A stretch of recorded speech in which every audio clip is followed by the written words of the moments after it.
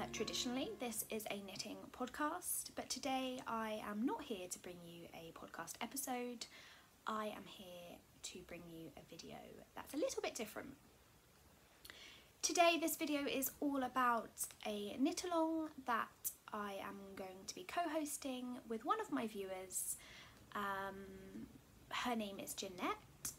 Over on Instagram, her name is Socks for WMAS and we have been chatting down below in the comments of my podcast episode and then over on Instagram and it came to my attention that she is planning to knit or um, hand crank 500 pairs of socks um, for her local ambulance service in time for Christmas, which I think is just amazing. So a little bit of explanation behind it. Here in the UK, if you're not from the UK, just to make you aware, we have a national health service called the NHS and throughout the pandemic they have been under quite a bit of pressure.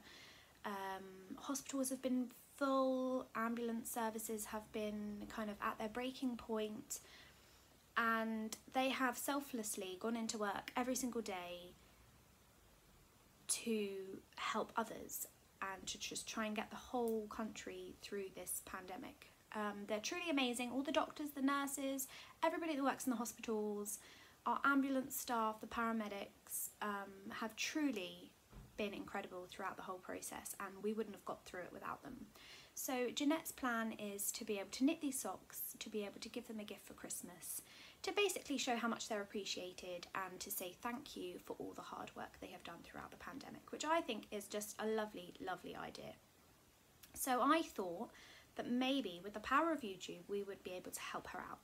So there's no pressure. If you don't want to participate, that's absolutely fine. And you don't even have to sit here and listen to me waffling on about it if you don't want to. But I promise to keep it relatively short. So I'm planning to help Jeanette out. Um, I haven't thought about how many socks I would like to make, but I do want to make a few pairs. So there's not really any rules, but the criteria, um, I guess, for the knit along is it's already begun. Jeanette has already been accepting donations of socks and yarn. Um, so it's any time from now really, and she would like to hand them out by the 21st of December this year. So my thoughts were if you wanted to participate that would be amazing. We would really appreciate your help. Um, there's a little bit of criteria for the socks so they can be any size sock. They do need to be full length socks please so no shorties and they do need to be made out of 4 ply fingering weight yarn. If you are not a sock knitter, you don't enjoy knitting socks, you don't know how to knit socks, but maybe you know how to knit a heel and a toe. Um, Jeanette has, do have some people that are able to crank out some socks on a cranking machine. Um, so we are looking for helpers to put in heels and toes into tubes. If that's something you think that you might be interested in helping with, then that would also be appreciated. Or maybe you just don't like knitting anything to do with socks, but you maybe have a skein of yarn hanging around that you would like to donate to, to the cause. That would also be greatly appreciated. So there are many ways in which you can join in and like I say if you don't want to then that is totally fine too but I thought maybe even if just one other person wanted to help out we would be that bit closer to Jeanette's goal for December. So the details.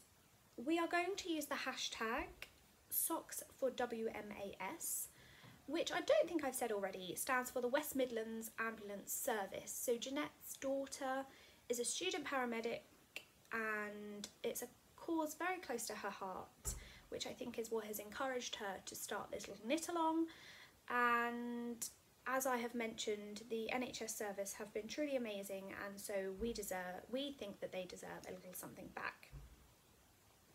If you would like to take part then we would be very grateful.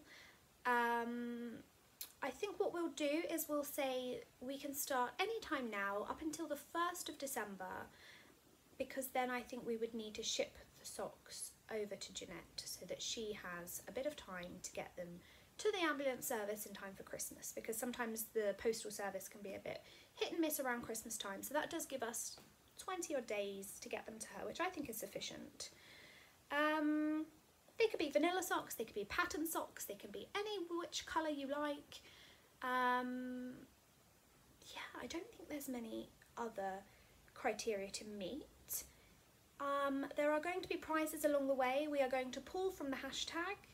And if you would like to send a pair of socks, please leave a little note in your parcel with your name, maybe your Instagram handle or your email address, or however we can contact you if you are a prize winner. And we will put them all together and pull from a hat at the end of the knit along and distribute the prizes accordingly.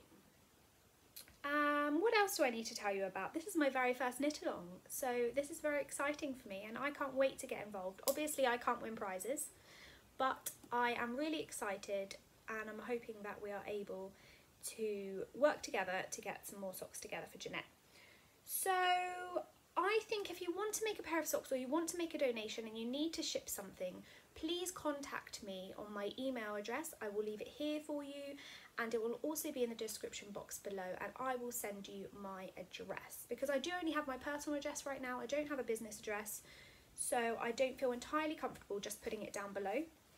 So please contact me if that is something that you need and you would like to take part. Um, do go over and follow Jeanette. Her Instagram handle, I'm not sure if I said already, but I will say again and I will leave it down here, is socks for WMAS and you can see all the wonderful socks that people are knitting and that she has received. I'm not sure how many socks she currently has. I think she still has quite a few more to go before she gets to her goal of 500. So um, I thought the power of YouTube might be able to give her a helping hand. Please go on over, look at the hashtag, share, like. If you don't want to take part, that's totally understandable, but please do share.